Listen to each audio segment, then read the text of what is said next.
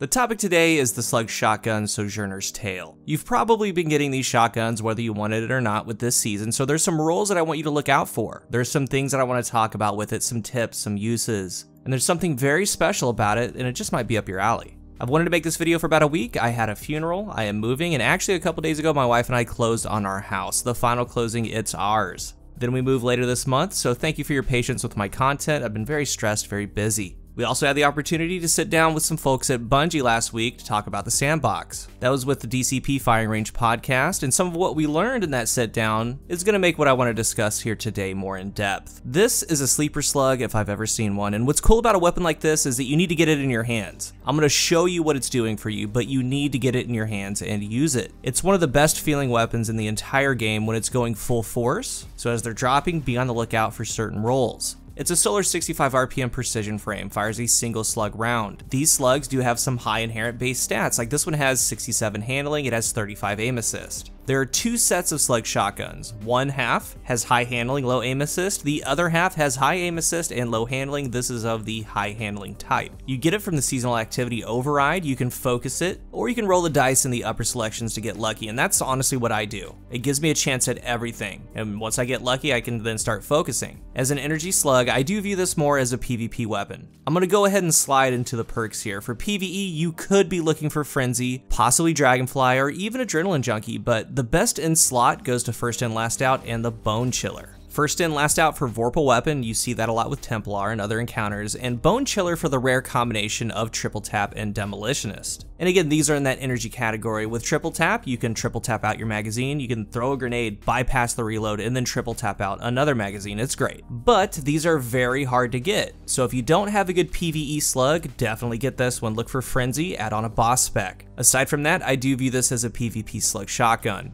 You can do a number of things with them, and just to get it out of the way, Chaperone Duality, they run the show as far as slug shotguns in the Crucible. They have the most durability, higher range in the Chaperone's case with Roadborne, but they do take an exotic slot. So maybe you want to run an exotic kinetic like Ace of Spades, Mida, Hawkmoon, whatever it is, you can have this slug shotgun there, or you can just use it just to switch things up. You use these for the range, and the base range usually hits the range cap. This one does, 10 to 12 meters. Exotics, again, a little bit more with Roadborne. 11.9 is that exact cap. You're gonna outrange non-slug shotguns, you have to hit them in the head though. Use them for that range, but to me at least, slugs bring out any melee build that you have. They deal 147 to the body. They're not going to one-shot body shot, so you're using a slug as the engine to get the wheels turning on a melee build. They're the best.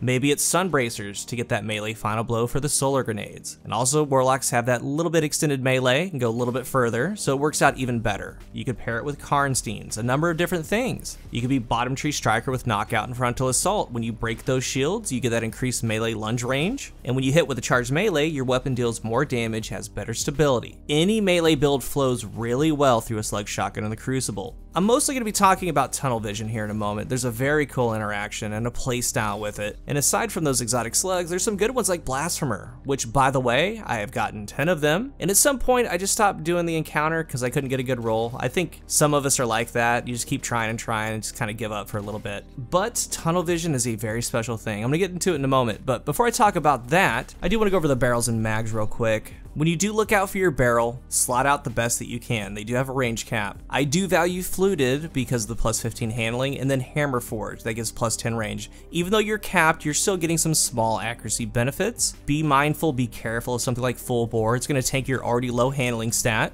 Your top two magazines are going to be Assault Mag and then Accurized rounds. But here's where it gets really, really interesting, the perk set. There's a number of things that you can do, but I'm going to focus on just a couple combinations, and of course some of the tried and true ones work really, really well.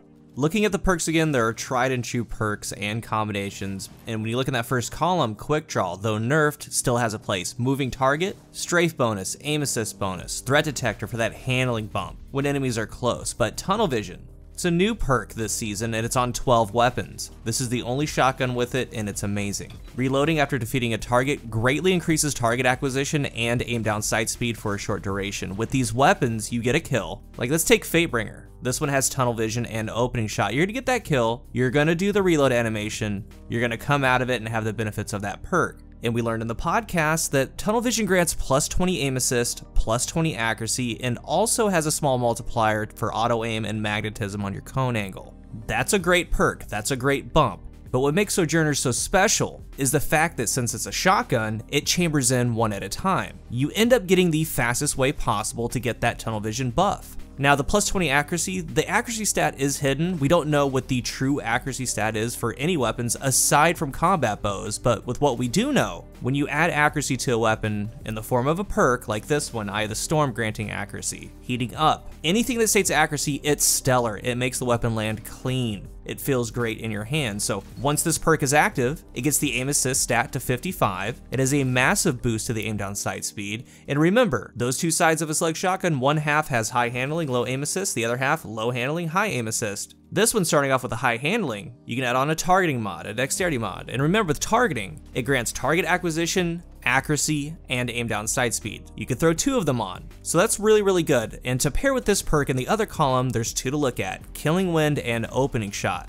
All the background footage you've been seeing is with Killing Wind and Tunnel Vision. My roll is Arrowhead Brake. It's the best in slot that I had. Obviously not the best barrel. It does give a little bit for the handling stat. I have Tac Mag, Tunnel Vision, and Killing Wind. Killing Wind states Final Blows increase mobility, weapon range, and handling for a short duration. This is the only weapon in Destiny 2 that can roll this perk combination, and these two perks together is nutty. Killing Wind is one of my favorite perks in Destiny 2, and we learned in the podcast that Killing Wind grants plus 20 mobility, a strafe movement bonus that is faster than moving target, is actually 30% faster than moving target, it grants a small range bump, and this bump does go past the 11.9 meter range cap on these slugs, and it gives a handling bonus. And handling is the speed in which it can be ready and aimed, and that handling bump also helps with aim down sight speed. So when you get a kill, killing wind is up, you chamber the round in immediately, you have tunnel vision and killing wind, then you go. You get all of those bonuses, mobility, strafe speed, two perks that are giving accuracy, aim down sight speed, stowing, range, aim assist. You're fast and you're deadly with it, and again, it's the only weapon in Destiny 2 that pairs tunnel vision and killing wind. It is one of the best feeling weapons in the game when you're in full force and have these two perks up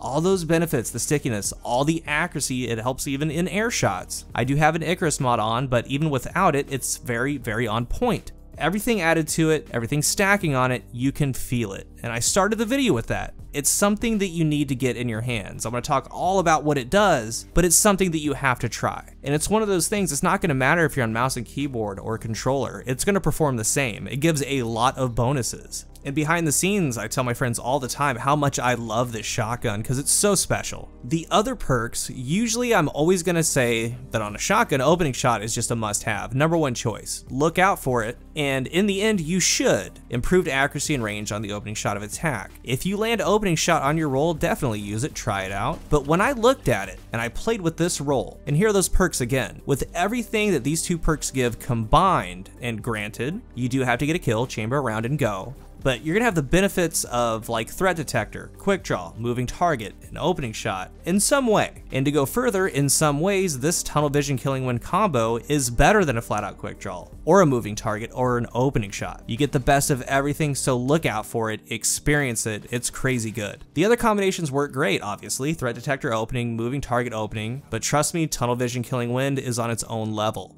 If you're new here, remember to hit the subscribe button, and if you are subscribed, thank you so much for your support. And if you're looking for a new controller, I am partnered with Scuf Gaming. You can use link down below and my code COOL at checkout for a discount. And Scuf has some things in store this summer, so be on the lookout for that. I want to hear your thoughts on this slug shotgun, and that goes for PvE and PvP. What's working for you in PvE? I was looking at it, and to me, it's going to be Frenzy but maybe you guys came up with a really good build for it. For the Crucible, a lot of the rolls for the slug shotguns are accounted for. And by that I mean, a lot of them are rolling moving target opening shot or quick draw opening shot. You can get that in a lot of places. And again, the exotics do reign supreme, but it does take your exotic slot. If you do have one of these and are using it in the Crucible, what roll do you have? And if you have used Tunnel Vision with it, especially Tunnel Vision with Killing Wind, and secondarily tunnel vision opening shot, talk about your experiences below. Thank you for watching, and until the next one, I am Cool Guy.